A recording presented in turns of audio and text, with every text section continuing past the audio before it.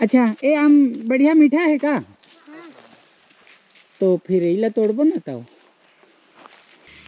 पेड़ के पास ये मोला छोटे से आम मिले हैं और एला टेस्ट किए जाए और अगर अच्छा मीठा हो ही तो फिर हम यही आमला तोड़बो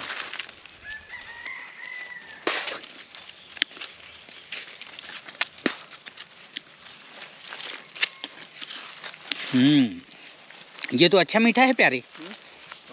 तो यही ला हमला तोड़े ला पढ़ी लागत है। ये देखा आम के पेड़, और ये बढ़िया मीठा आम है। है थैला में आम? तो खावा ना का खावा खावा। क्या ठाने हैं? हाँ एक अब तोड़े थे ना तो फेंकू सिंह के लिए एक तोड़ा यार।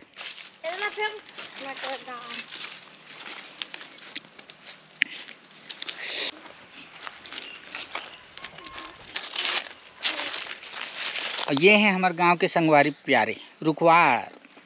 अभी बता रहे हैं रुखवार कौन होते हैं। ठीक है ना? तो जब भी हम लोग कुछ खाना रहते हैं, कटहल या आम तो हम लोग प्यारे ही ला के देते हैं।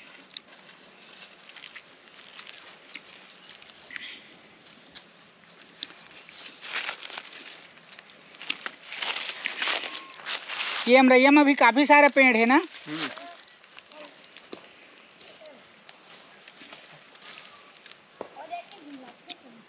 एक बार ना अगली बार आऊँ तो जाम खा जाबो। जाम कहाँ पर पके है? कहाँ पर? कैसे फेंकूँ? अच्छा ये पिछले बार आ रहे हैं तो यहाँ जाम पेड़ रही ओहर है का तो प- फले है? हम्म।